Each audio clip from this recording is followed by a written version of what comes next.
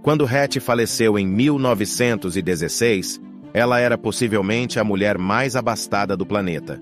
Sua estratégia inovadora de comprar abaixo do preço justo e vender acima dele, semelhante à abordagem de investimento adotada por Warren Buffett, foi um dos principais fatores que contribuíram para sua enorme fortuna.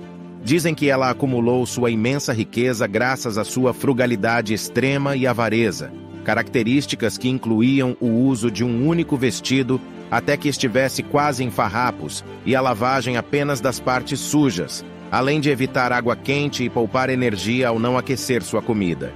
Embora Hattie fosse uma Quaker muito austera e econômica, talvez seu comportamento peculiar possa ser atribuído ao fato de que ela não se identificava com o papel tradicionalmente atribuído às mulheres de sua época.